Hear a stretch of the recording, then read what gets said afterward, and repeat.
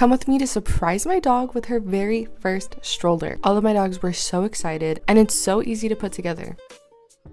Look at her little tippy taps. I wasn't even done assembling the actual carrier part and she jumped right into the basket. A couple weeks ago, she jumped out of my mom's truck onto concrete and completely ripped her nail off. This is the second time it's happened and I'm tired of her getting hurt and I'm tired of paying those vet bills. My dogs were so excited they wanted to come with us. This is Petique's Newport Pet Stroller. It's a 3-in-1 travel system so it converts from a stroller to a carrier to a car seat.